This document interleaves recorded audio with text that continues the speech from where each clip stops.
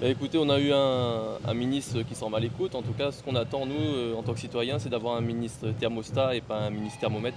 C'est-à-dire aujourd'hui, on a besoin de, choses qui bougent, qu'ils fassent bouger les, lignes. On s'est beaucoup focalisé sur le BQP. Euh, on a passé beaucoup de temps sur le BQP, c'est quelque chose euh, qui me semble nécessaire, mais ce n'est pas suffisant aujourd'hui. on aurait pu parler par exemple de la péréquation sur les colis pour changer de modèle économique.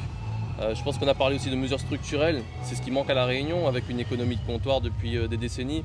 Donc euh, ce qu'il faut aujourd'hui, c'est passer à un autre modèle, passer à un nouveau modèle économique pour sortir La Réunion de l'ornière. Et je crois que c'est ce qu'on doit poser en tant que citoyen, puisque le ministre lui-même le disait, il faut sortir du problème de la vie chère par, par les revenus.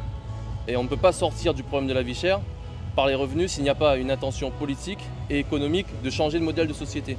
Aujourd'hui, euh, si on veut sortir par les prix euh, et pas s'occuper par exemple des indices de pauvreté ou des revenus, je pense que c'est se tromper de combat finalement. alors quelles sont les pistes pour euh, changer de modèle Qu'est-ce que vous avez pu évoquer qui vous, vous a convaincu Ou est-ce que vous en ressortez un petit peu justement dans l'attente?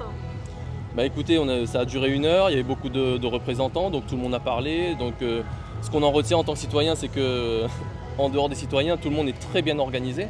Et finalement, le parent pauvre aujourd'hui de, ben, du lobbying, euh, je dirais, c'est les citoyens. Euh, le BQP, c'est bien, mais ça reste toujours quelque chose qui, pour nous, reste à la marge. Et euh, il faut vraiment changer de modèle de société. Par exemple, on n'a pas pu parler des carburants. Les carburants, c'est le sujet d'actualité. Et pourtant, on, le crie et le PMR était présent aujourd'hui. Il y a beaucoup de mesures. Par exemple, ce qu'on fait, par exemple, généralement, on appelle ça des tankers spot. Des c'est-à-dire c'est des, bateaux en fait, qui viennent récupérer le carburant et emmener la Réunion. On sait très bien qu'il y a, entre 2009 et, 2009 et 2013, il y a un tanker qui a été financé par défiscalisation, qui était censé, faire descendre le coût du carburant à La Réunion. Donc euh, on ne sait pas qu'est-ce qui est arrivé aujourd'hui, ce, tanker, on n'entend plus parler aujourd'hui. Par exemple aussi sur la, TSC, l'affectation finalement de la TSC à, des transports en commun. Parce que la TSC aujourd'hui finance la route, donc on finance le tout routier. Donc on finance finalement notre dépendance aujourd'hui au tout automobile. Donc ça c'est encore une autre mesure. Après pour faire, pour faire baisser les coûts, bah, forcément euh, comparé à, la France, on a, un régime assez particulier qui relève euh, d'une taxe qui va majoritairement aux collectivités aujourd'hui. Il y a une réflexion à avoir là-dessus pour faire baisser les coûts à, court terme.